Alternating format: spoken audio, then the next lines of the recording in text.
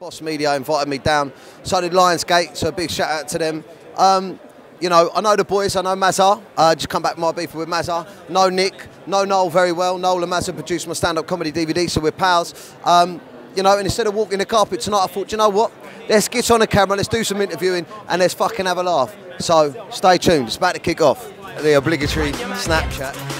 Running out like negative energy, negative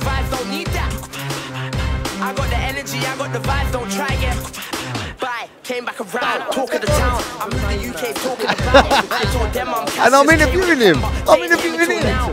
Oh, this is on Mandem. It's on Mandem. Anyway, I'm here for Bosss Media. Maza, uh, we're good friends. Good pals. We're pals, we're good friends, but it's not about us today. Well, it's about you.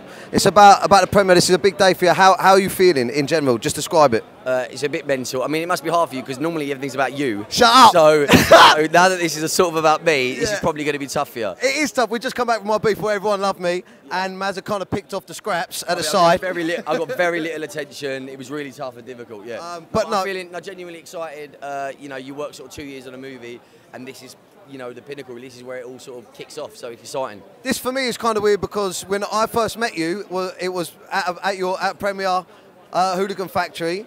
Um, and I guess you've seen yourself on the screen before. For anyone that wants to get into acting, how does it feel to see yourself on a cinema screen?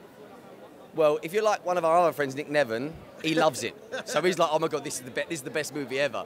Uh, if you're like me, then I'm sort of just cringed the whole way and be like, please let me get through this. I hope everyone doesn't think I'm too bad. Now, listen, you're kind of funny sometimes in general. Um, try be a little bit. You try to be a little bit like a like a younger version of Dapper Laughs, but It has been said. Yeah. So, um, you are my hero and my inspiration. So Yeah, well, yeah, that's why you booked a room right next to me in Ibiza. He wanted a peek inside. Okay, um, listen, no, seriously though, um, your character, is it funny or is it aggressive? What is it? Uh, I think he provides some dark humour.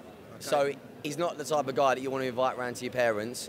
Uh, he's a bit nasty, but through that is some of them really awkward moments where he, where he comes with some gold and you'll probably get some awkward laughter.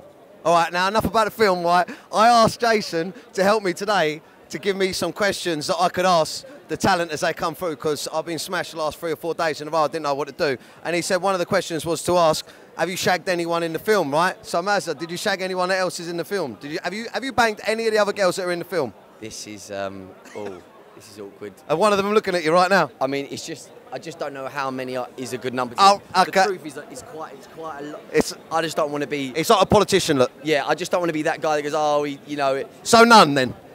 none. Jason Maza, thank you. Hey, I'll see you at the after party, brother. Love. Oh, wait, and congratulations for today. I love you.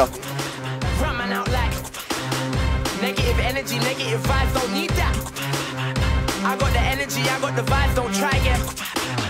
Came back around, talk of the town. I'm who the UK's talking about. I told them I'm Cassius Clay with a pen.